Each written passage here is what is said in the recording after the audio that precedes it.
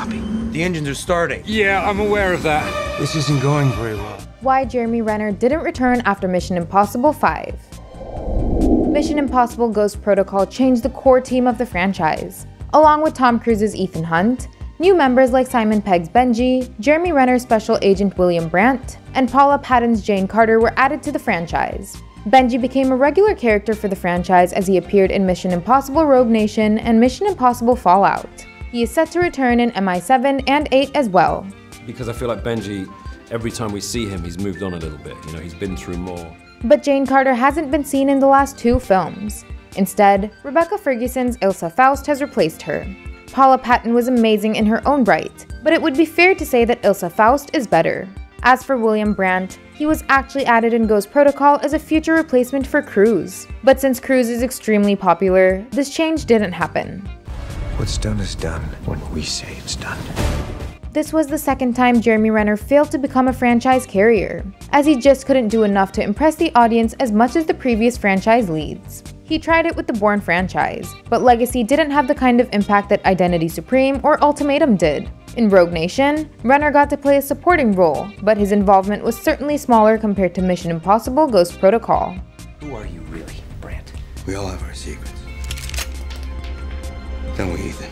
Maybe he could have done more, but Luther had to get a 4x4 in a high speed chase. Anyway, his absence in Mission Impossible Fallout surprised many. The reason why he didn't return then was because of his endgame commitments. Back in 2017, Marvel was shooting Infinity War and Endgame simultaneously, so Renner was involved with that.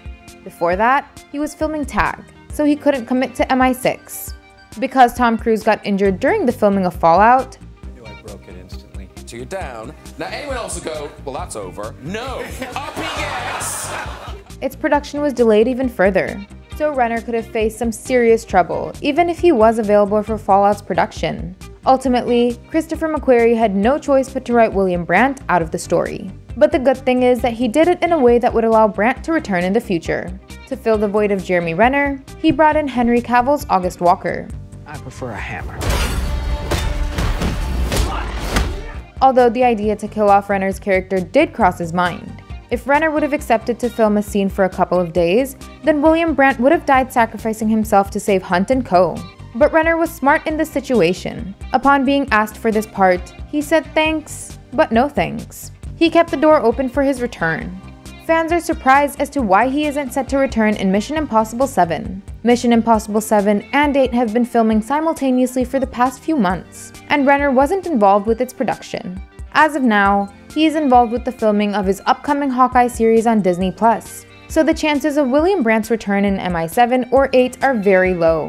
Part 8 is where the franchise will end. We would have liked for every story arc to be tied up by then. You're not gonna make it! You're not helping. But William Brandt's plot thread will probably remain dangling. Let's see if the next two Mission Impossible films will address Brandt's absence in some way. But even if it doesn't, there's a chance that he could return to the franchise after Cruise is done with it. Would you like to see the Avengers actor return to the MI franchise beyond Mission Impossible 8? Tell us in the comments. And make sure that you like and follow us on Facebook and subscribe to us on YouTube for more exclusive content. That helps us a lot. Thanks. We'll see you in the next one.